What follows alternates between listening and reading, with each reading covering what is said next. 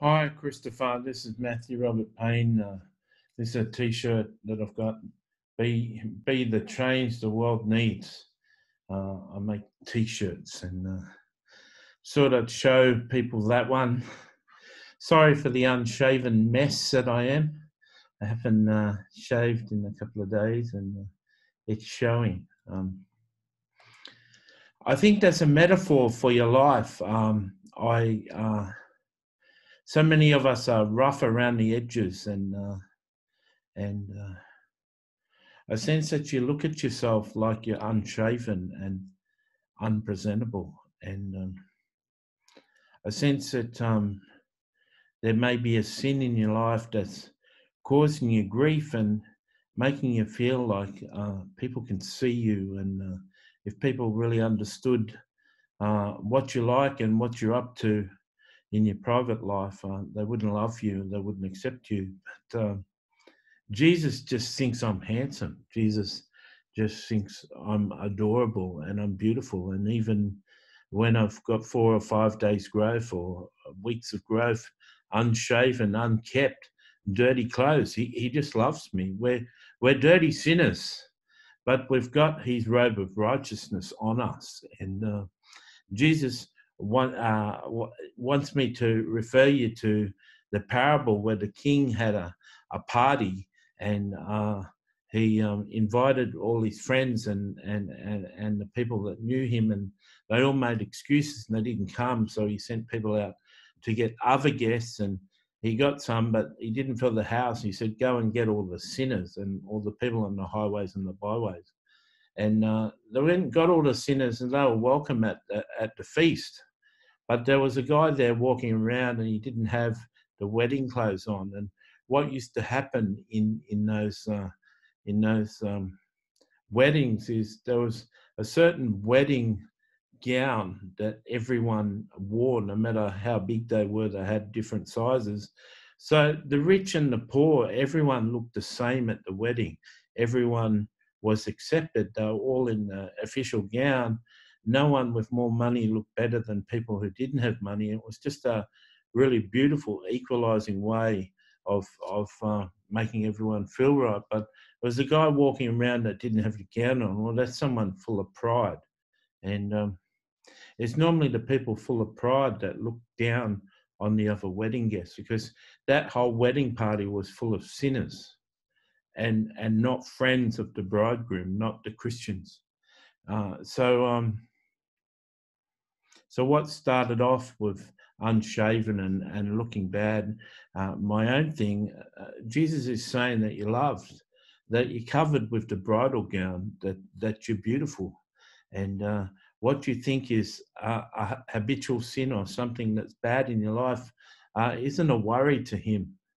His blood was sacrificed for that sin and covers that sin. And while ever you're bringing that before him and he hasn't supplied the grace to get through it, you're covered.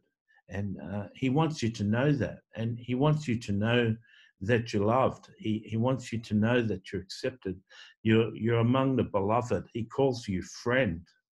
Uh, so many times you've uh, wept over your sin. So many times you've wept for, for uh, out of compassion and love for other people. You've got such a heart, such a heart for the brokenhearted because you too have had a broken heart. You've got such compassion and love and mercy and kindness and goodness flowing out of you. If if uh, if if if I won twenty million dollars on the lotto lotto lottery, and and and I sent you five million, you probably give it all to the poor. You've just got such a beautiful heart. Money is meaningless to you. Possessions is meaningless to you. You only want Jesus. You're running after Jesus. You're hungry for Jesus and his spirit. And he just adores you.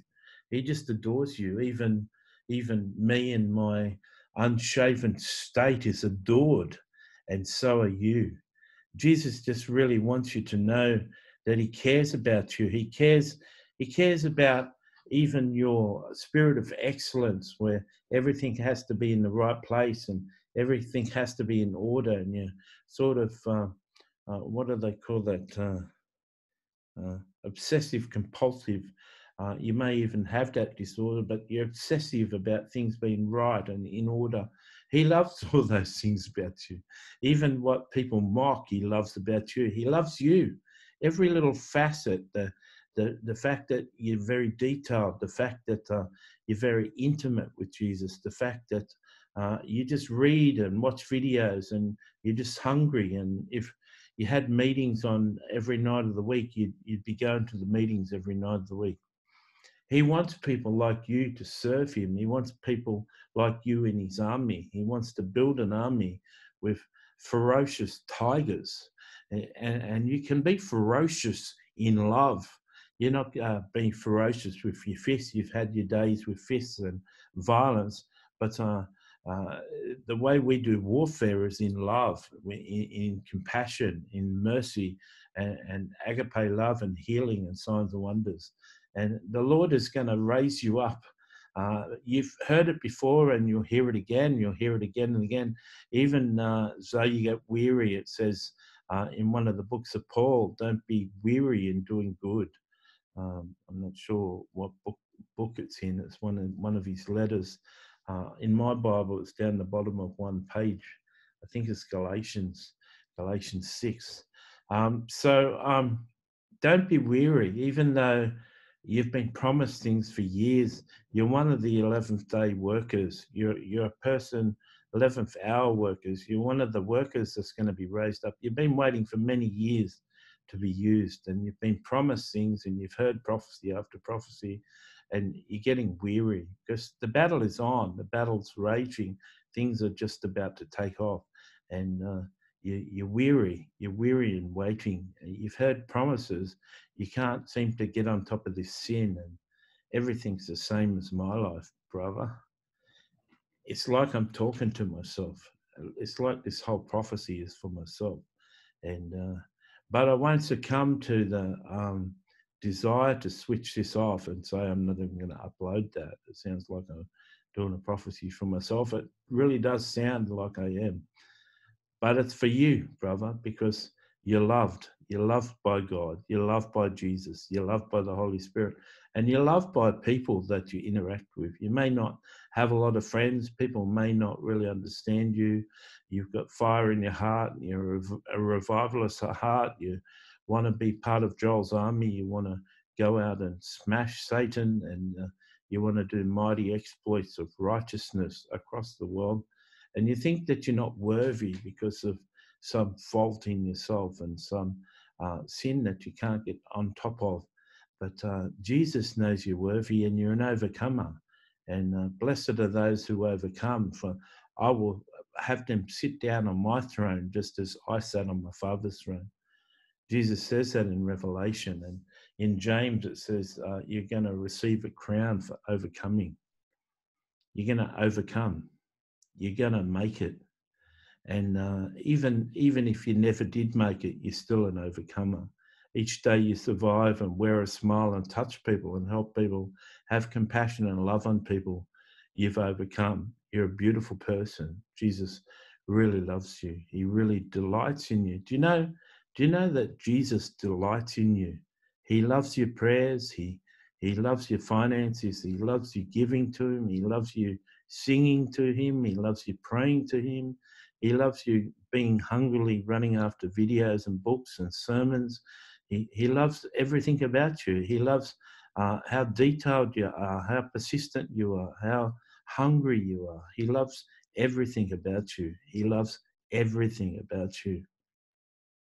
So be of good courage. Be of good courage.